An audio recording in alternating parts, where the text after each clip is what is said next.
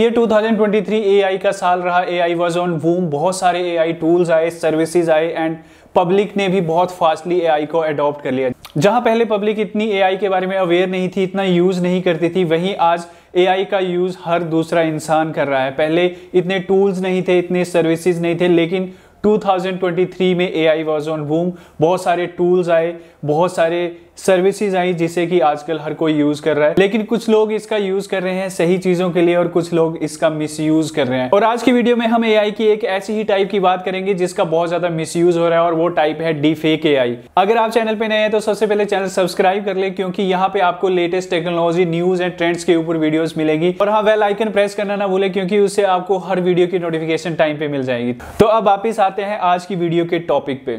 आजकल इंटरनेट पे बहुत सारी वीडियो सर्कुलेट होती है वायरल होती हैं लेकिन उनमें से कुछ वीडियोस फेक होती हैं। लेकिन एक्चुअल में वो इतनी रियल होती हैं कि लोग धोखा खा जाते हैं। उनको लगता है कि ये एक्चुअल वीडियो है रियल वीडियो है. एग्ज़ाम्पल के लिए जब यूक्रेन का वॉर स्टार्ट हुआ था तो यूक्रेन के प्रेसिडेंट जेलेंस्की की एक वीडियो सर्कुलेट हुई थी, जिसमें वो अपने ट्रूप्स को सरेंडर करने के लिए कह रहे थे और बहुत सारे लोगों ने उस वीडियो पे बिलीव भी कर लिया, लेकिन एक्चुअल में वो वीडियो फेक थी. और इसी तरह की फेक वीडियोस बनाई जाती हैं by using deepfake A I deepfake A I basically एक आर्टिफिशियल इंटेलिजेंस की ही टाइप है और ये दो वर्ड से मिलकर बनी है, जिसमें फ़र्स्ट वर्ड है deep learning and second one है फेक तो इसका नाम ही बताता है कि ये एक्चुअल में एक ऐसी टेक्नोलॉजी है जो फेक कंटेंट बनाती है। सो so, जो डी फेक एआई है उसका यूज़ किया जाता है ऐसी कन्विंसिंग वीडियोज़ या फिर ऑडियो या फिर ऐसे फ़ोटोज़ बनाने के लिए जिसको देखकर यूज़र इजिली धोखा खा जाए और व्यूअर्स को लगे कि ये एक्चुअल में रियल इमेज है या वीडियो है या फिर ऑडियो है। डीफेक एआई एक कंटेंट में एक पर्सन को दूसरे पर्सन से स्वैप कर सकती है या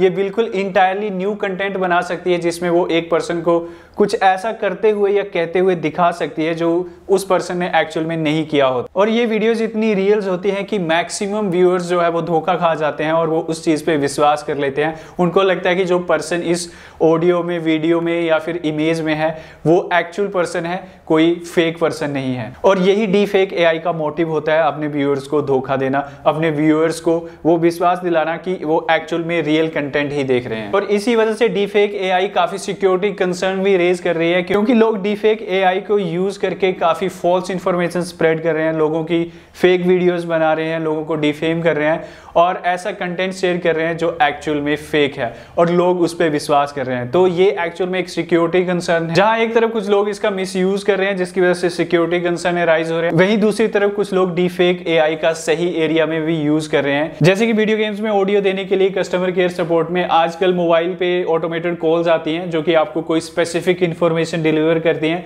लेकिन उसमें जो वॉइस होती है, वो डी फेक ए की वॉइस होती है, किसी रियल पर्सन की वॉइस नहीं होती है। लेकिन इसके बावजूद काफ़ी फेक कंटेंट क्रिएट हो रहा है फेक वीडियोस बनाई जा रही हैं फॉल्स इंफॉर्मेशन स्प्रेड की जा रही है और लोगों को बेवकूफ़ बनाया जा रहा है। तो ये जानना बहुत ज़रूरी है कि कैसे हम आइडेंटिफाई कर सकते हैं कि फेक कंटेंट कौन सा है, कौन सा कंटेंट है जो डी फेक एआई से बना है। लेकिन उससे पहले हम ये समझने की कोशिश करते हैं कि ये काम कैसे करता है। सो डिफेक एआई दो एल्गोरिदम यूज़ करता है। First one is a generator and second one is a discriminator algorithm basically वो स्टेप्स होते हैं जो कोई भी एक काम करने के लिए अगर कोई फॉलो करता है तो वो उस काम को कर सकता है। फॉर एग्ज़ाम्पल अगर अभी मुझे लाइट बंद करनी हो तो मैं क्या स्टेप्स फॉलो करूँगा? सबसे पहले मुझे चेयर से उठना होगा। और फिर मुझे चल के स्विच के पास जाना पड़ेगा एंड देन मुझे स्विच प्रेस करना पड़ेगा और उसे लाइट ऑफ़ हो जाएगी। तो ये जो तीन स्टेप्स हैं चेयर से उठना, चल के स्विच के पास जाना एंड स्विच को प्रेस करना, इन तीन स्टेप्स को कोई भी पर्सन जो कि चेयर के ऊपर बैठा है, वो फॉलो करेगा। तो वो लाइट ऑफ़ कर सकता है। इसी तरह से किसी भी प्रॉब्लम को सोल्व करने के लिए, कोई काम करने के लिए एल्गोरिदम डिज़ाइन की जाती है, जिसमें कि स्टेप्स बताए जाते हैं कि इन स्टेप्स को अगर फॉलो किया जाएगा तो हम ये काम कर सकते हैं। डी फेक एआई भी इसी तरह से दो एल्गोरिदम यूज़ करती है फॉर क्रिएटिंग फेक कंटेंट हमें जो आउटपुट चाहिए होता है, उसके लिए जनरेटर सबसे पहले एक ट्रेनिंग डेटा सेट क्रिएट करता है एंड उसके बेसिस पे इनिशियल फेक कंटेंट क्रिएट करता है।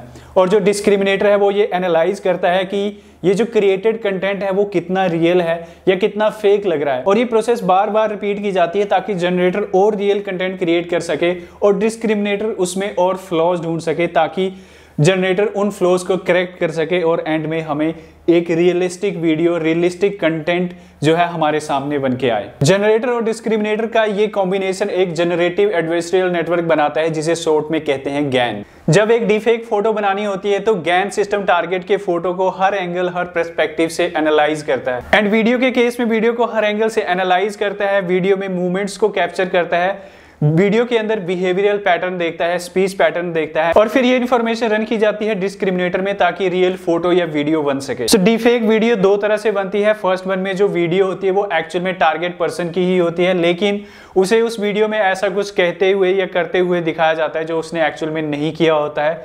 एंड सेकेंड टाइप होती है, जिसमें वीडियो किसी और की होती है, लेकिन जो वीडियो में पर्सन होता है, उसका जो फेस है वो स्वैप कर दिया जाता है with the target person commonly deepfake use किया जाता है आर्ट की फ़ील्ड में एंटरटेनमेंट की फ़ील्ड में, लोगों को ब्लैकमेल करने के लिए और कस्टमर केयर सपोर्ट में. जैसे कि आपने ए जनरेटेड म्यूज़िक सुना होगा, उसमें सिर्फ़ सिंगर की वॉइस यूज़ की जाती है. एक्चुअल में उस सिंगर ने वो गाना नहीं गाया होता है. एंड कुछ लोग डी फेक एआई का यूज़ कर रहे हैं, लोगों को ब्लैकमेल करने के लिए. लोगों की इनअप्रोप्रिएट वीडियोज़ बना दी जाती है या फिर फ़ोटोज़ बना दिए जाते हैं एंड उसके बेसिस पे लोगों को फिर ब्लैकमेल किया जाता है. एंड कस्टमर केयर सपोर्ट में भी कुछ टास्क के लिए डिफेक एआई यूज़ किया जा रहा है। एग्ज़ाम्पल अगर किसी को अपने अकाउंट की डिटेल जानी है, अपना बैलेंस चेक करना है तो अगर वो बैंक के कस्टमर केयर में कॉल करता है सो जो स्टार्टिंग की कन्वर्सेशन होती है, वो डी फेक ए को यूज़ करके होती है, जिसमें जो सामने से वॉइस आती है, वो डी फेक ए यूज़ करके बनाई गई होती है। अब पॉइंट आता है कि अगर हमारे सामने कोई ऐसी वीडियो आती है, जो डी फेक ए को यूज़ करके बनी हो, जो फेक हो तो हम कैसे आइडेंटिफाई करें? तो ऐसी वीडियो में अगर आप देखेंगे तो फेस की पोजीशन जो है अनयूजल हो सकती है ऑकवर्ड हो सकती है ऐसा हो सकता है कि जब पर्सन की बॉडी मूव कर रही है तो उसकी जो फेस की पोजीशन है, वो उसकी मूवमेंट से मैच नहीं कर रही है। और जो मूवमेंट है फेस की बॉडी की मूवमेंट है, वो भी आपकी अननेचुरल हो सकती है। कलरिंग अननेचुरल हो सकती है लाइटनिंग जो है वो अननेचुरल हो सकती है। ऐसे लोग हो सकते हैं, अगर वो ब्लिंक नहीं कर रहे हैं so that mean video fake है, जो ऑडियो है वो इनकन्सिस्टेंट हो सकती है। तो अगर आप ध्यान से आवाज़ सुनेंगे तो वहाँ पे आपको इनकन्सिस्टेंसी मिल सकती है, जहाँ, जिससे आपको पता लग सकता है कि ये वीडियो जो है वो फेक है। और वैसे ही टेक्सचुअल कंटेंट भी डी फेक एआई से बन सकता है। सो ऐसे कंटेंट को आप कैसे पहचान सकते हैं? सो ऐसे कंटेंट में स्पेलिंग मिस्टेक्स हो सकती हैं। अगर आपको ईमेल पे आ रहा है तो आप ईमेल चेक कर सकते हैं। आपको जो सेंडर का ईमेल है वो सस्पिशियस हो सकता है।